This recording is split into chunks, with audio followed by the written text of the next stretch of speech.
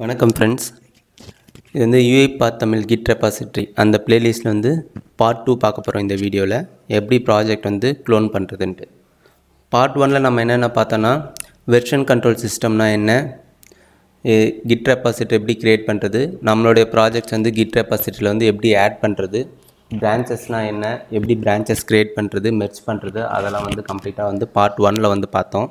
இது வந்து அதனுடைய continuity part two so part ஒன்னோட டிஸ்கிரிப்ஷன் லிங்க் வந்து நான் டிஸ்கிரிப்ஷனில் கொடுத்துருக்கேன். நீங்கள் யாருன்னா வீடியோ பார்க்கலன்னா அந்த பார்ட் ஒன்ற வீடியோ பாருங்கள் ஓகே இப்போ வந்து இந்த வீடியோவில் வந்து என்ன பார்க்க போகிறோன்னா எப்படி நம்மளுடைய ப்ராஜெக்ட் வந்து கிட் ரெபாசிட்டரிலேருந்து க்ளோன் பண்ணிவிட்டு நம்ம லோக்கல் சிஸ்டத்தில் மூவ் பண்ணுறதுன்றதான் பார்க்க போகிறோம் ஓகே எப்போ நம்ம ப்ராஜெக்ட் வந்து நம்ம லோக்கல் சிஸ்டத்தில் செக் அவுட் பண்ணுற சுச்சுவேஷன்ஸ் வரும்னா இப்போ திடீர்னு உங்களுடைய கோடு வந்து உங்கள் லோக்கல் சிஸ்டத்துலேருந்து டெலீட் ஆகிடுச்சுன்னு வச்சுக்கோங்க. அப்போ நீங்கள் கிட் கெப்பாசிட்டிலேருந்து உங்கள் லோக்கல் சிஸ்டத்துக்கு ப்ராஜெக்ட் வந்து செக் அவுட் பண்ணி நீங்கள் வந்து கண்டினியூவாக ஒர்க் பண்ணலாம்.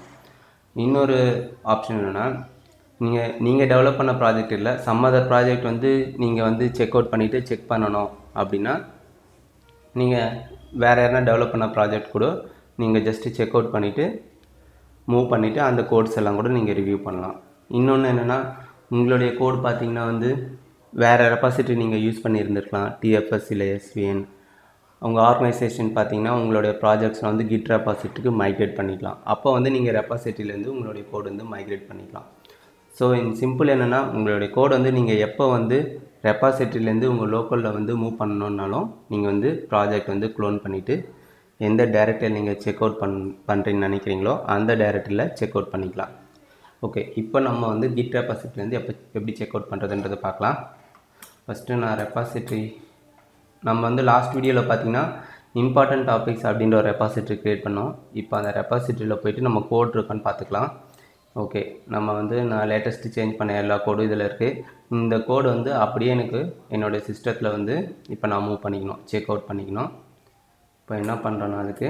யூஐ பார்த்து போகிறோம் யூஐ பார்த்தில் டீமுன்ற லிங்க் இருக்குது பாருங்கள் ஜூம் பண்ணி காட்டுறேன். அந்த லிங்க்கை கிளிக் பண்ணுங்கள் டீம்ன்ட்டு கிளிக் பண்ண உடனே உங்களுக்கு பார்த்தீங்கன்னா மூணு சோர்ஸ் கண்ட்ரோல் நீங்கள் பார்ப்பீங்க ஃபஸ்ட்டு கிட்டு அதுக்கப்புறம் டிஎஃப்எஸ் எஸ்விஎன் நீங்கள் இன்கேஸ் டிஎஃப்எஸ்லேருந்து ப்ராஜெக்ட் வந்து செக் அவுட் பண்ணணும்னா ஓப்பன் ஃப்ரம் டிஎஃப்எஸ் கொடுங்க. எஸ்விஎல்லேருந்து பண்ணோன்னா ஓப்பன் ஃப்ரம் எஸ்விஎன் ஆனால் நம்ம இப்போ பண்ண போகிறது கிட் ரெபாசிட்ரிலேருந்து செக் அவுட் பண்ண போகிறோம் ஸோ நான் என்ன கொடுக்க போகிறேன்னா க்ளோன் ரெபாசிட்ரி இப்போ க்ளோன் ரெப்பாசிட்ரி கொடுத்தோடனே நமக்கு repository URL check out directory கொடுக்கும். ஆல்ரெடி நான் யூஸ் பண்ணியிருந்ததுனால அது வந்து காமிச்சது.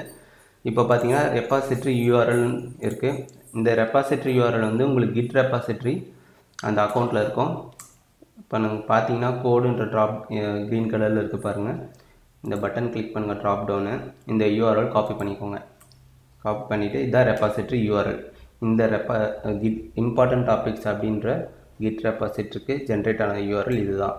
இப்போ வந்து நீங்கள் எந்த டைரக்டரியில் வந்து இந்த ப்ராஜெக்டோட சோர்ஸ் கோட் வந்து செக் அவுட் பண்ணணும். அந்த டைரக்டரியை சூஸ் பண்ணிக்கோங்க.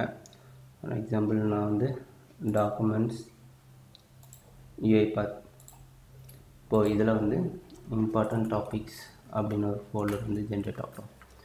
இப்போ போட்டிங்கன்னா உங்கள் டாக்குமெண்ட்ஸ் யூஐ பார்த்து இம்பார்ட்டன்ட் டாபிக்ஸில் என்னோடய எல்லா கோடும் வந்து கிட் ரெபாசிட் வந்து செக் அவுட் ஆகிடும் இந்த க்ரெடென்ஷியல்ஸ்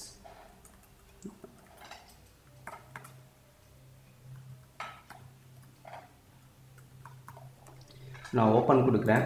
ஓப்பன் கொடுத்தோன்னே நீங்கள் மெசேஜ் பாருங்கள் செக்கிங் அவுட் ஃப்ரம் அப்படின்னு சொல்லிட்டு கிட் ரெபாசிட்லேருந்து செக் அவுட் ஆகிட்டுருக்கு நம்ம ப்ராஜெக்ட்லாம் ஸோ செக் அவுட் ஆனோடனே எல்லா கோடும் வந்து நீங்கள் எந்த டைரக்டரி வந்து பாயிண்ட் பண்ணிங்களோ அங்கே செக் அவுட் ஆகிட்டு லோட் ஆகிடும் அதுக்கப்புறம் நீங்களோட ப்ராஜெக்ட் வந்து நீ ஒர்க் வந்து நீங்கள் கண்டினியூ பண்ணலாம். ஓப்பன் ஆகிடுச்சு இப்போ பார்த்தீங்கன்னா இதனுடைய பார்த்து பாருங்கள்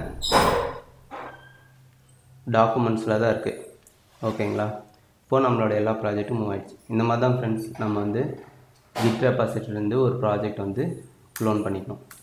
ஃப்ரெண்ட்ஸ் இந்த வீடியோ பிடிச்சிருந்ததுன்னா மறக்காமல் நம்ம சேனலுக்கு வந்து சப்ஸ்கிரைப் பண்ணுங்கள் சப்போர்ட் பண்ணுங்கள் உங்கள் ஃப்ரெண்ட்ஸுக்கு ஷேர் பண்ணுங்கள் தேங்க்யூ